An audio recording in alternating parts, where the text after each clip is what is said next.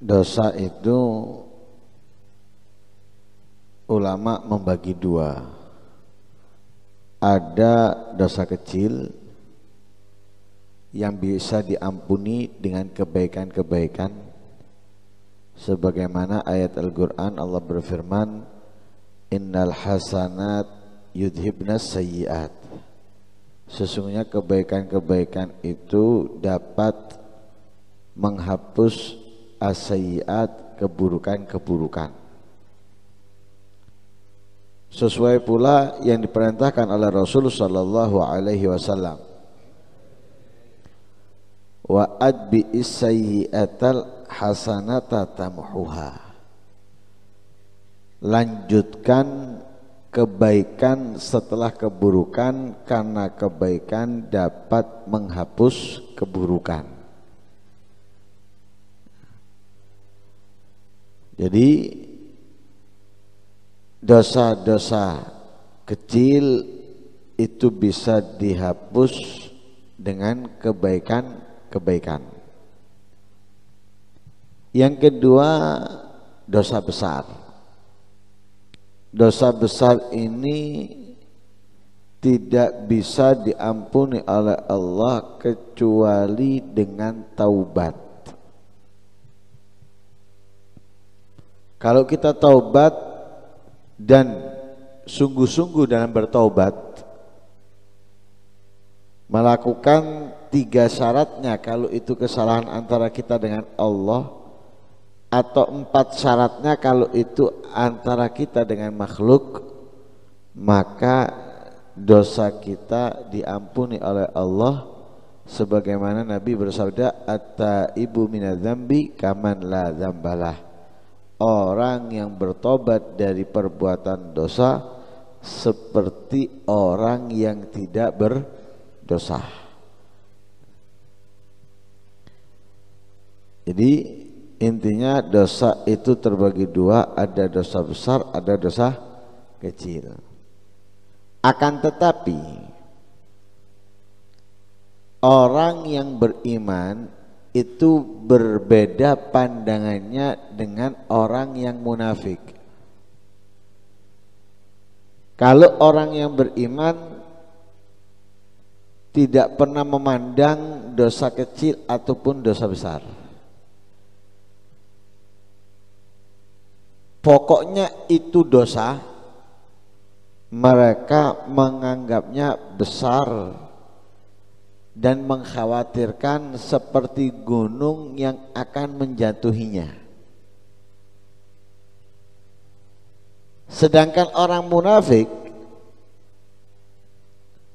menganggap dosa itu hal yang kecil mungkin tertipu dengan sifat ghafar pengampunnya Allah sehingga menganggap dosa besar pun kecil seakan-akan lalat yang hinggap di hidungnya lalu ia usir. Berbeda jauh ya. Jadi kalau orang beriman walaupun dosa itu terbagi dua mereka tidak pernah melihat pembagian dosa melainkan melihat siapa yang dilanggar perintahnya siapa yang dimaksiati. Karena itu mereka selalu menganggap dosa itu gunung yang akan runtuh yang akan menjatuhinya. Sedangkan orang munafik enggak? Orang munafik menganggap dosa itu enteng, ringan, gampang. Seperti lalat yang hinggap tinggal dia usir selesai. Jadi anggapannya dia dengan istighfar cukup beres, enggak seperti itu juga. Itu orang munafik. Karena itu beda mereka orang-orang yang beriman ketika melakukan dosa walaupun kecil mereka tangisi. Dan mereka menangisinya itu bukan seperti anak kecil yang minta permen. Tapi menangisi itu berhari-hari bahkan mungkin berbulan-bulan dan bertahun-tahun. Padahal mungkin yang dilakukan itu bukan dosa besar, dosa kecil. Itu orang yang beriman. Jadi terbawa itu. Selalu ada di pikirannya yang membuat apa eh, yang menghantui mereka. Yang selalu menghantui mereka. Jadi kekhawatirannya itu terus. Takut, takut, takut. Sehingga mereka berusaha memperbaiki dan memperbaiki. Tapi kalau orang munafik enggak. Dianggapnya kecil. Dianggapnya enteng. Dianggapnya sepele. Gampang. Enggak ribet. Enggak susah. Itu orang-orang munafik. Karena itu melakukan dosa mereka enggak pikiran mereka nggak resah, mereka nggak takut. Ngulangi lagi, mereka juga nyantai, tenang. Ngulangi lagi, mereka pun asik, tertawa. Ngulangi lagi, terus seperti itu, itu orang munafik. Bahkan mungkin tidak pernah memikirkan untuk bertobat atau takut akan murkanya Allah Subhanahu wa taala. Kalau orang beriman tidak. Setelah melakukan dosa, entah itu disengaja ataupun terpleset terjerumus wah menganggap dirinya mereka sudah kotornya luar biasa buruknya luar biasa sehingga mereka menangis di malam hari memohon ampun kepada Allah Subhanahu wa taala atas kesalahannya nah itu dosa kita harus bisa meningkatkan diri kita, mengkelompokkan diri kita ke kelompoknya orang-orang yang beriman. Kita harus berusaha masuk di kelompoknya orang-orang yang beriman yang mereka benar-benar menghindar menjauh daripada dosa, daripada kemaksiatan, daripada kemungkaran, baik yang kecil, yang sedikit, yang tidak nampak, apalagi yang nampak besar dan banyak. Mudah-mudahan Allah Subhanahu wa taala menjauhkan kita dari segala bentuk kemaksiatan, kemungkaran yang zahir maupun yang batin, yang disengaja ataupun tidak, yang besar